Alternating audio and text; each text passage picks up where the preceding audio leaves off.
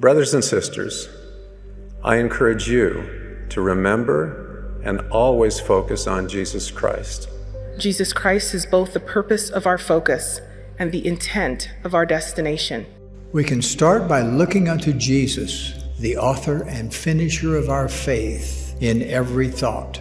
Filling our mind with the power of Jesus Christ does not mean that He is the only thought we have, but it does mean that all our thoughts are circumscribed in His love. We can be prone to look beyond the mark. We need to guard against this tendency if we incorrectly imagine that there's a need for something beyond what He offers. We deny or diminish the scope and power He can have in our lives. To help us to remain fixed and heading in the right direction, the Savior invites us to see our lives through Him in order to see more of Him in our lives. We begin by learning about Him.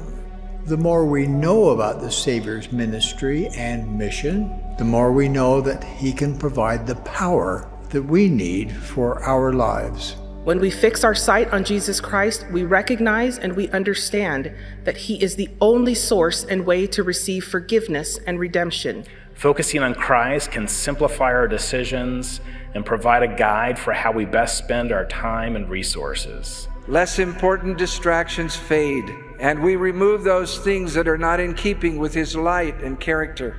Focusing on Christ requires discipline, especially about the small and simple spiritual habits that help us become better disciples. Treasure the opportunity to repent, the privilege of partaking of the sacrament.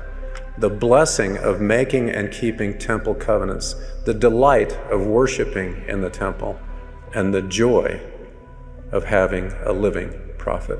I plead with you today to counter the lure of the world by making time for the Lord in your life each and every day.